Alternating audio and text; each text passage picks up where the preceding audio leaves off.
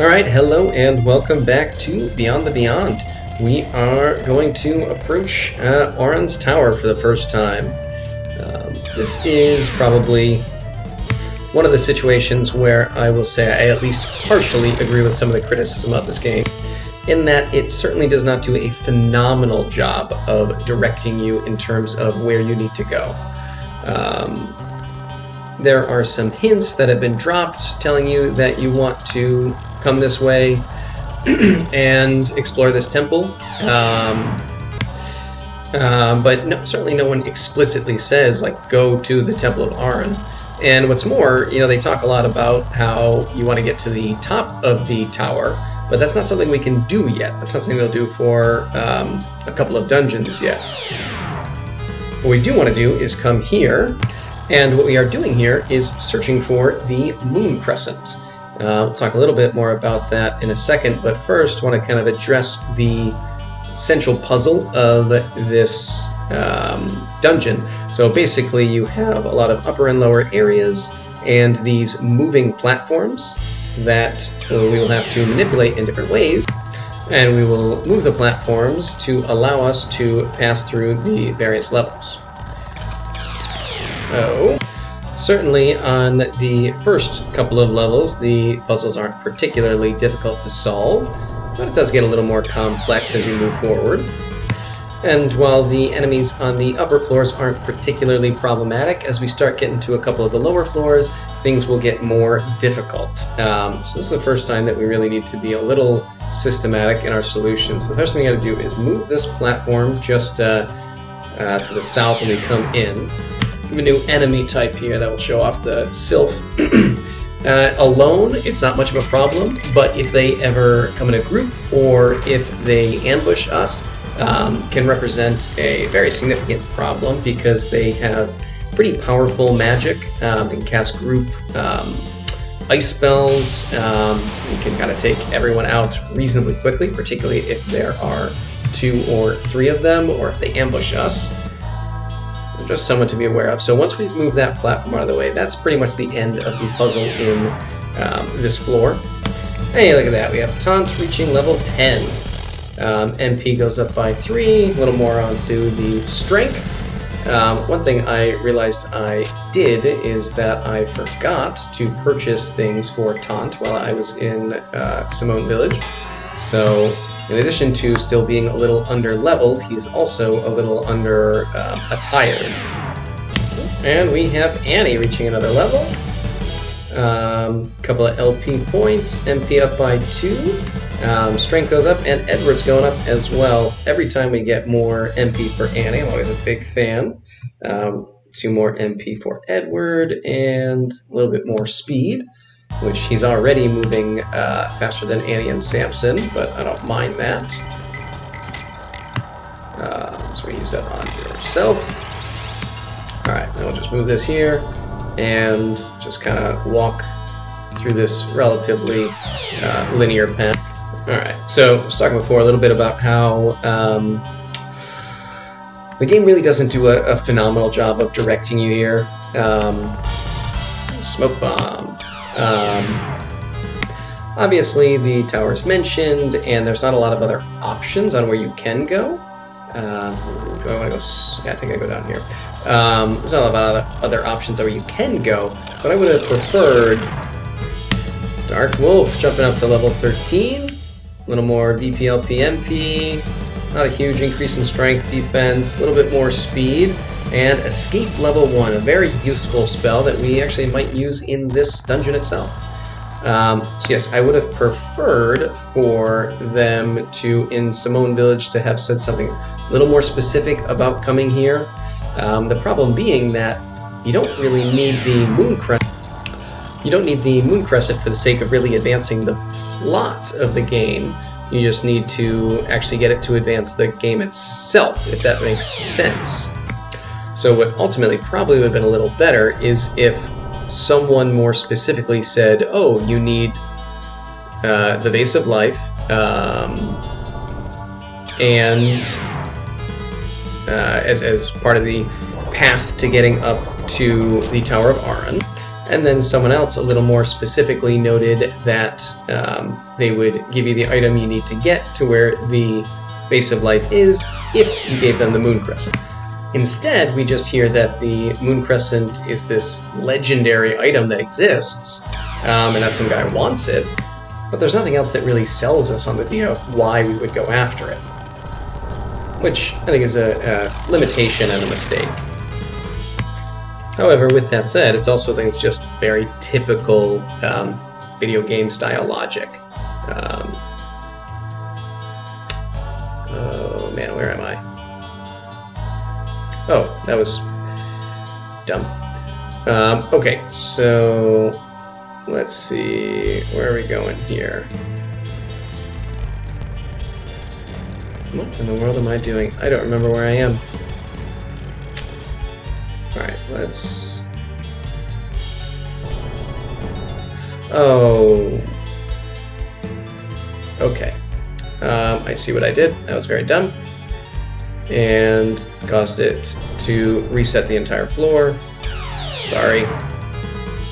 Uh, well, I suppose it gives me a chance to actually talk about the puzzle on this floor. So basically, um, what you want to do is just move everything out of the way. You're not actually going to use any of these pathways. You just have to open up um, the path. Oops, uh, little interruption. We got Taunt reaching level 11, which is a big deal because he's about to learn a, a, very nice spell. VP and LP by 1, MP just by 2. Um, speed goes up a little, but there is Fire Drake level 1. Um, I'll be showing that off fairly shortly. Um, once we have some fight with a decent number of enemies.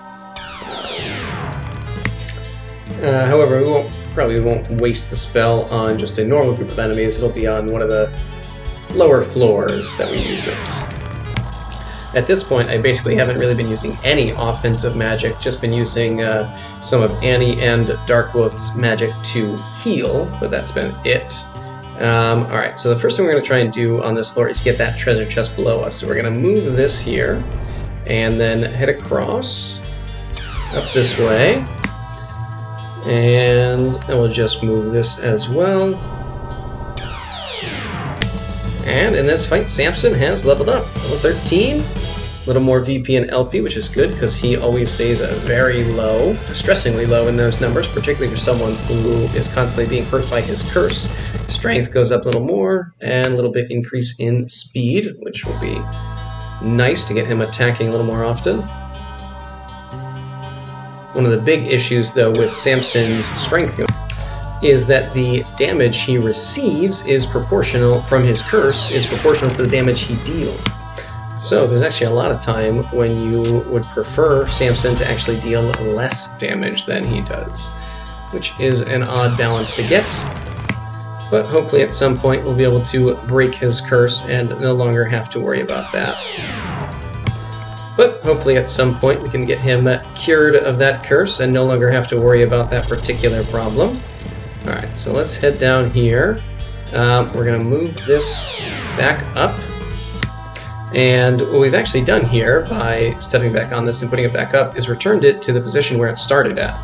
Um, which makes this kind of an interesting floor where uh, where the solution is basically to not touch anything. Unless you actually want to get the treasure chest. Ooh, do I go up or down? I think I go up. Yes. And I would think that probably you can see how if you didn't already know the solution, and you were forced to do a lot more trial and error, this could be significantly more difficult, and you'd end up having a lot more fights and getting into a lot more trouble. So we're going to move this um, set of uh, steps up. We're going to go to the right side, and we're also going to move it this one.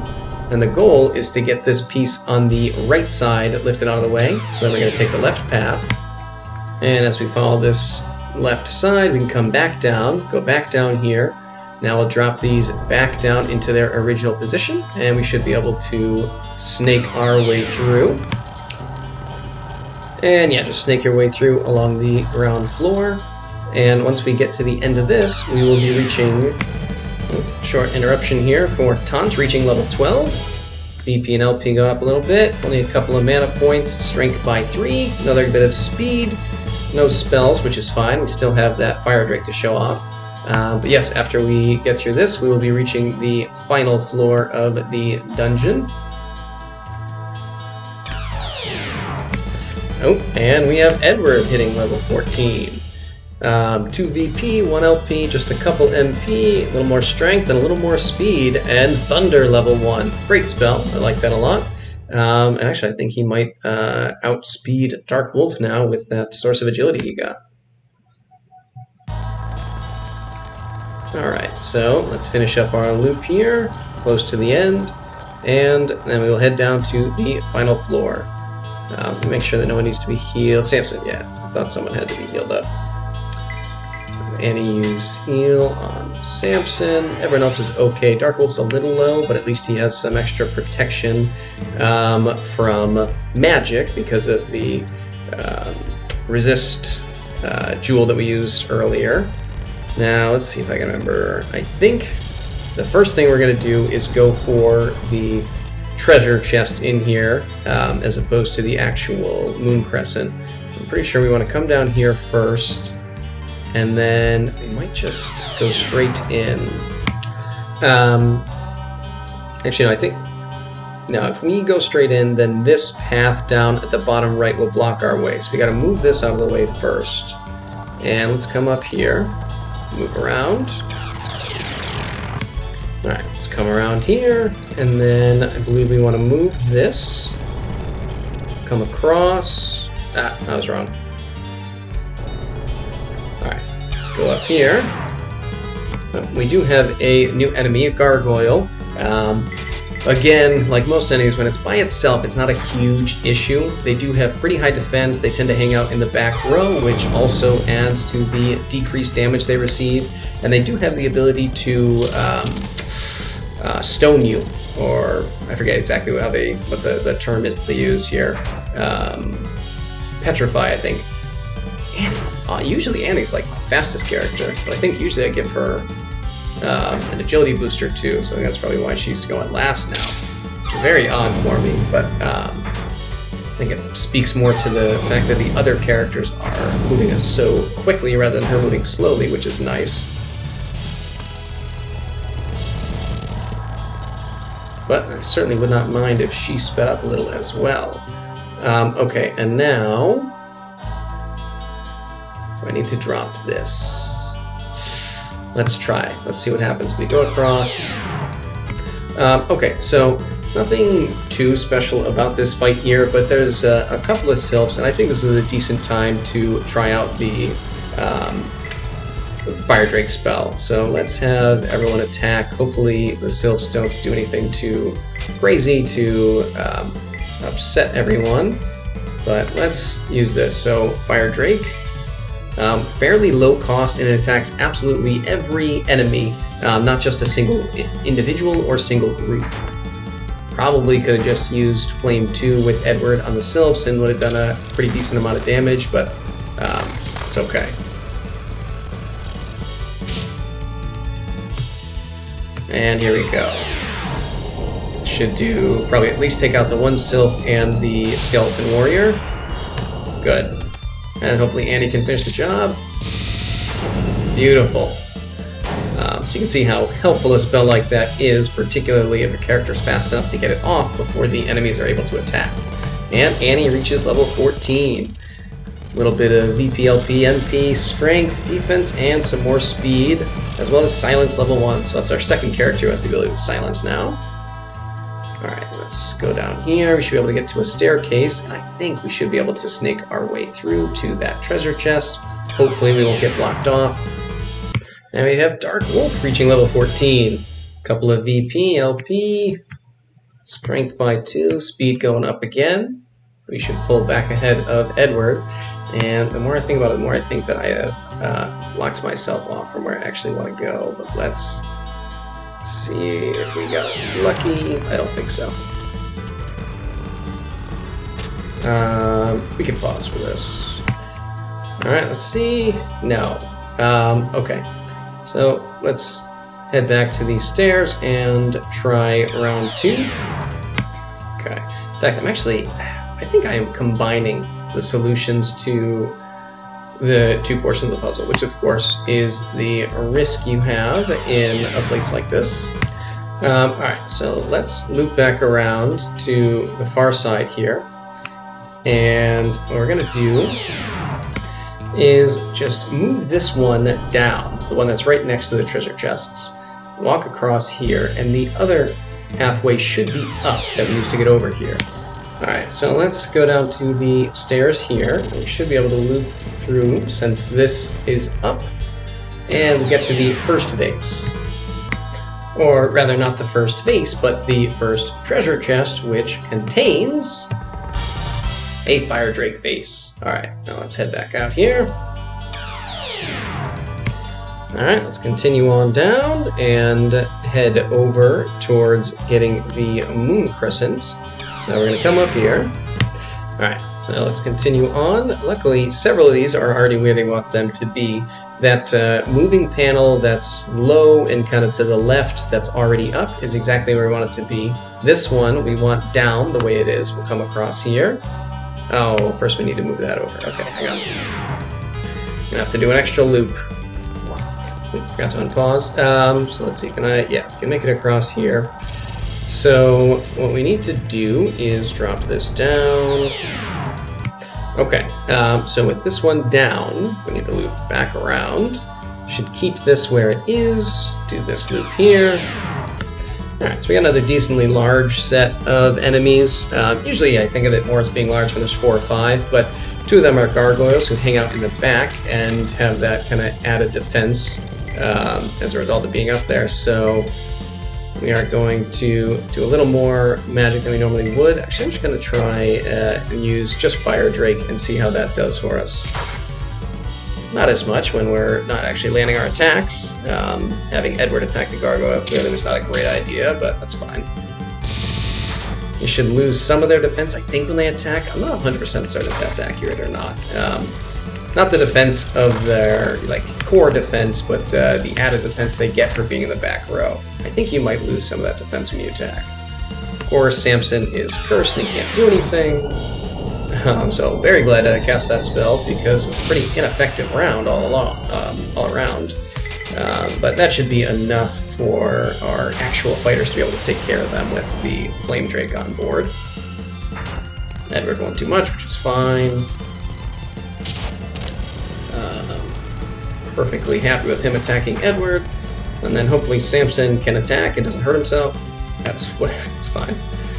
Um, in this situation, it's probably better to have him not attack so that he doesn't end up hurting himself. Um, you can see that his LP has gotten very low. Um, so if he were to get groggy again, he'd be very close to dying. I think Taunt's going to level up. Yes, Taunt hits 13, BP by 2, MP goes up by 2 more, and a little more speed. Alright, so let's continue along this path. Again, we want these to be down. So they'll come across, and now we are good to go.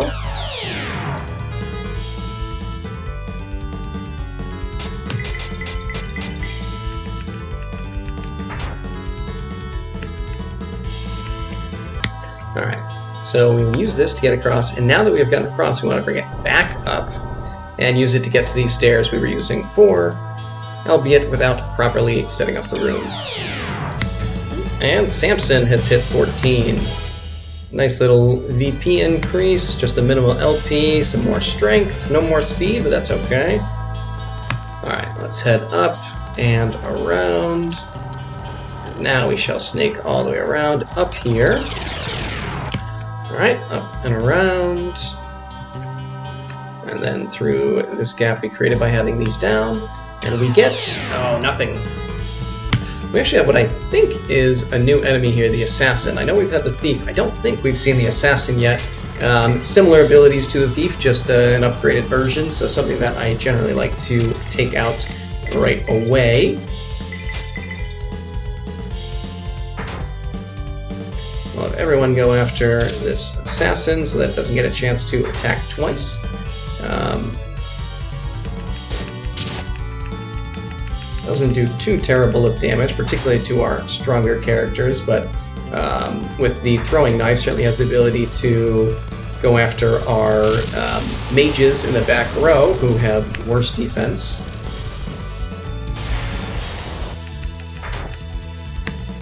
Hopefully that will help us take care of the Skeleton Warrior before it gets a chance to attack again. That definitely will. Alright, very nice.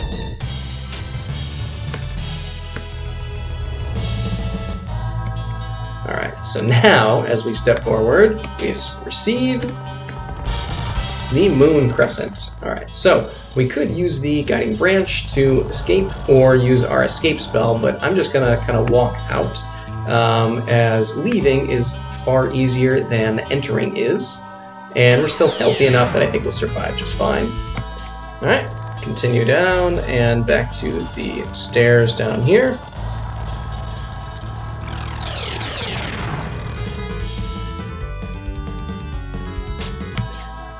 And around and up here. Back across this path and to the stairs. Each floor should be reset to its natural state, so we'll come down, move this over, and have a fairly short walk around to this staircase over here. Alright, let's keep going here, up the stairs, and to the next floor. And then let's see, we just move this over, and pretty much back to the beginning. Up to the next floor.